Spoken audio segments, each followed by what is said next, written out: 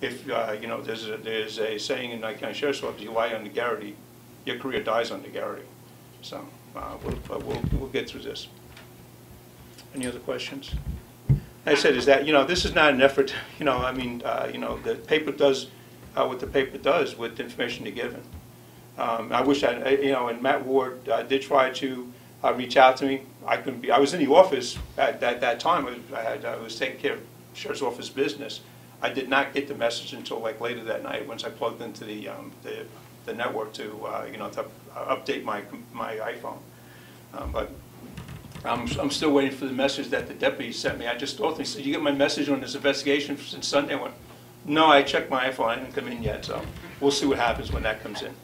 Um, But um, I- you don't have any questions?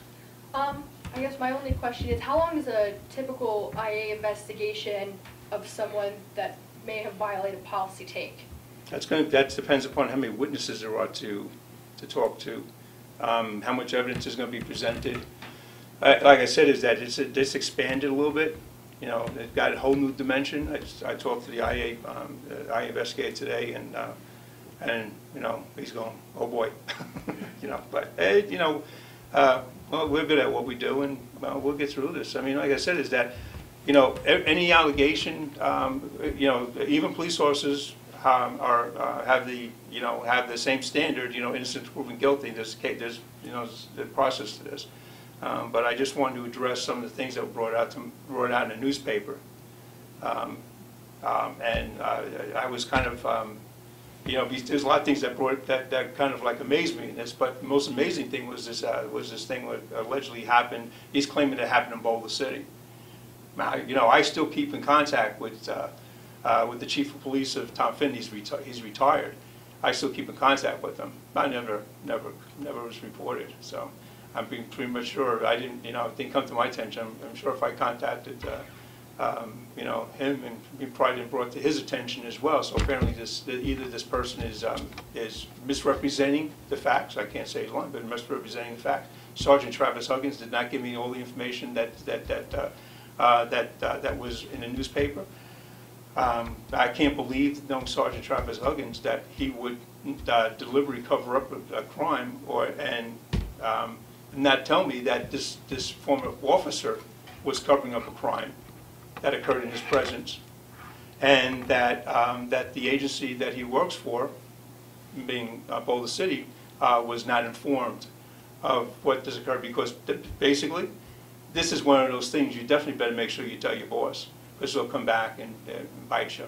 And, um, you know, I don't know what's going on uh, uh, with this uh, officer now, and I don't know if this is gonna, you know, um, get back to his chief.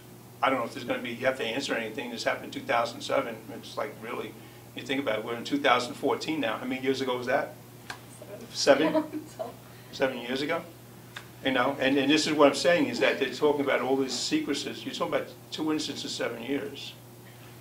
And the second one, I didn't know anything about until it was brought out in the newspaper, and believe me, I was kind of surprised at, uh, of the, of the reaction of, of uh, Captain Beck. I know, I don't know why he would may think that that would be an appropriate venue for that to be, but I'll tell you the truth, as, as the sheriff, uh, as, a- as a, as a sergeant, if I was as a supervisor or anybody else, I would have said, you know what, this is one of those IA moments.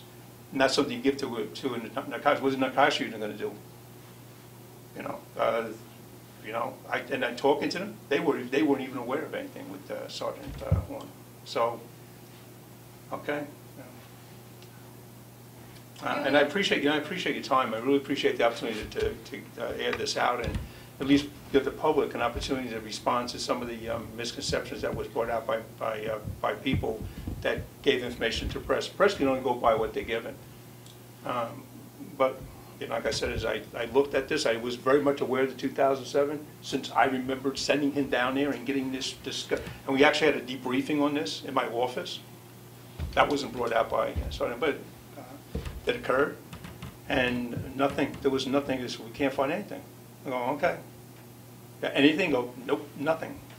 Okay. Uh, My, the information I got back is that the individual was, uh, was drunk, and not under any kind of, uh, uh, not any kind of, any any kind of, um, you know, uh, illegal narcotics being given by a member of the office. And believe me, Sergeant Huggins is a good investigator. If- If he could have determined whether that had occurred or not, I would have had information from Sergeant Huggins that occurred, but he couldn't find anything. He just gave it back and says, oh, let me go through internal affairs.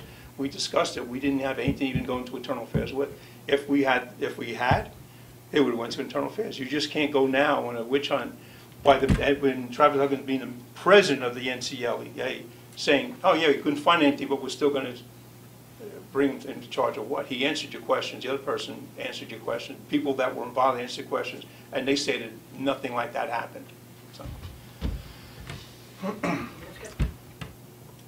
One more question? No, you haven't asked any question you want.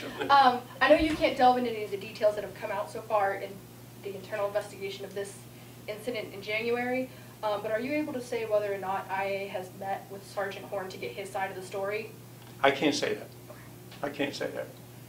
Um, Like I said, we can't talk about the investigation by policy, I can't talk about it, but no, we can't talk about the investigation.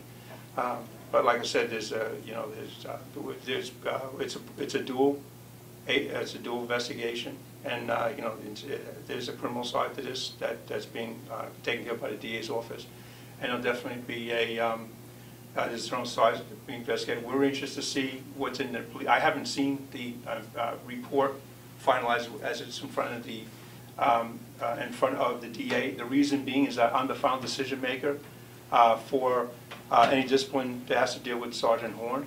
And I can't, uh, you know, this ex parte communication issue that, uh, you know, if you have too much information, then you have to show, you have to show impartiality because you are um, making a a judgment on this. It's like a judge having, you know, hearing, uh, only hearing one side and not the other.